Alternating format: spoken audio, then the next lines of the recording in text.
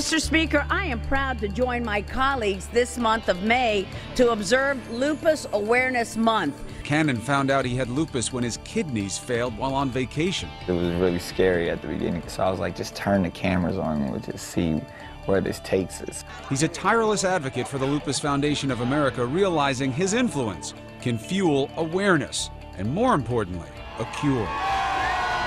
Well, May is Lupus Awareness Month, and there are some special events planned this week in our area.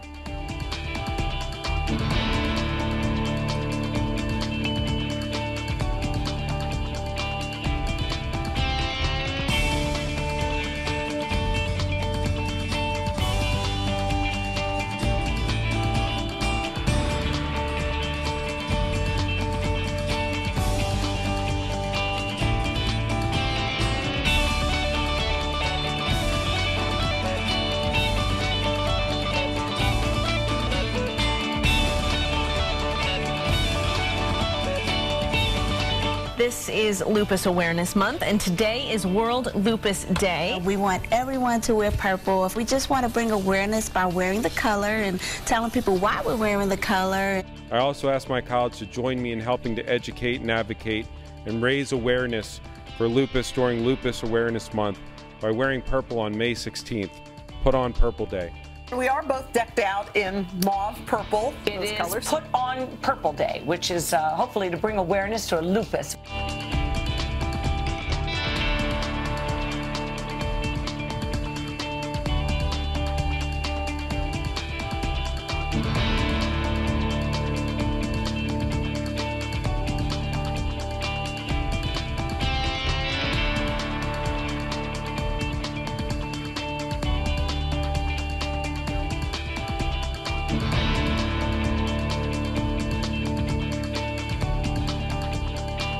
Tonight, the Great Wheel turns purple in a celebration and support of Lupus Awareness Month. Today's Pop Day, that's put on purple for Lupus Awareness Day. You can see Terminal Tower lit up in purple lights.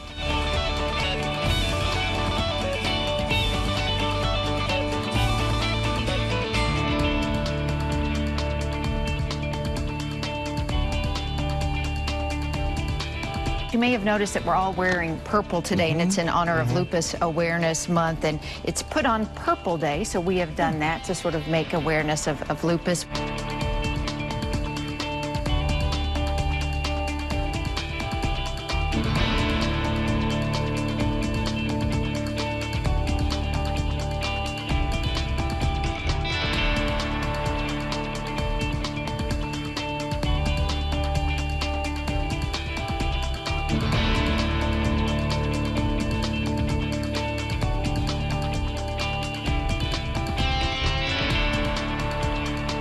Great event happening in West Hartford. More than a thousand people are expected to take part in the annual Walk to End Lupus.